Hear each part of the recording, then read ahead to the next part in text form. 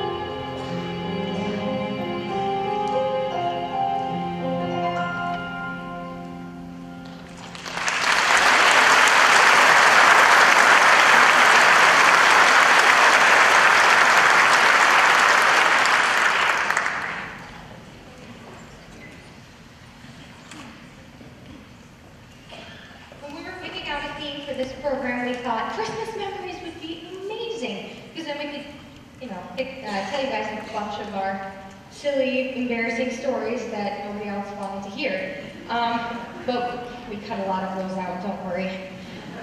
But I wanted to talk about the time when I got the best Christmas present to date, anyway, uh, that I have received. I'm expecting big things this Christmas. But I had been asking for a harp since I was three years old, and finally I was 12, and I just couldn't wait. I, I wanted so badly to take lessons, and my parents said that it was really expensive. So, after asking for years, I got this box for Christmas as my big gift, and when I opened it up, inside was a little harp ornament. Not quite the same thing, but at the bottom of the box there was a sign that said, go down to the back room. So I did, walked back suspiciously, and lo and behold, there was a harp. So, tried to incorporate it in the program so you guys could hear it.